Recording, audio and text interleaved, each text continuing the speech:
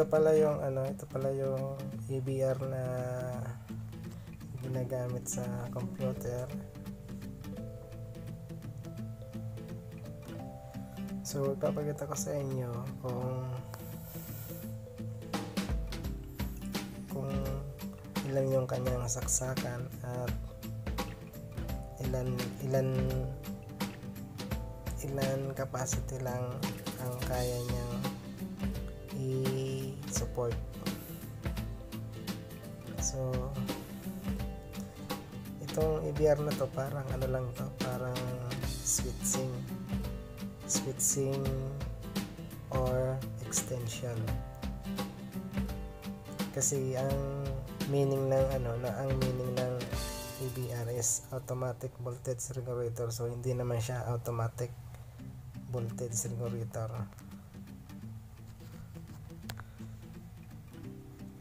kasi yung automatic regu- kasi yung automatic regulator ano um, yung yung kanyang output is auto volts pag bumababa pag bumababa tumataas yung input yung output niya nagbabago rin.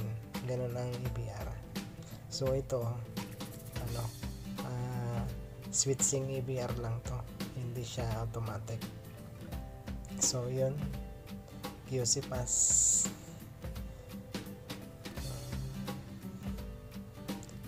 itong EBR na to is ano uh, made in Philippines lang to.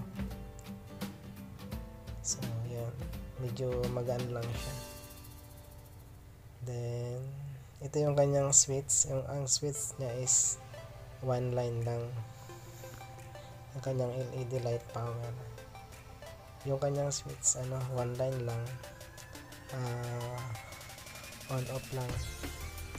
Hindi siya yung double switch na magde-disconnect yung line 1 line 2 so yung kanyang output tatlo.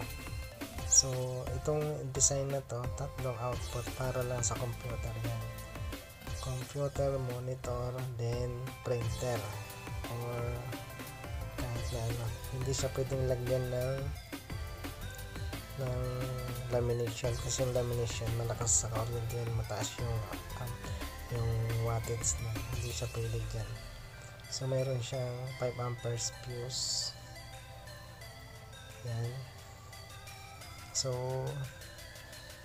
so ang fuse na yung 5 amperes na yan sakto lang yan sa ano sa computer lang talaga. Nakadesign niya lang sa, sa computer. So pag na overload mo siya ano uh, sasabog yung kanyang fuse pagkaya na overload mo yung kanyang outlet so ito yung kanyang wire Ayan. so ayan. so itong switching EBR na to is napaka importante nito sa computer para hindi masira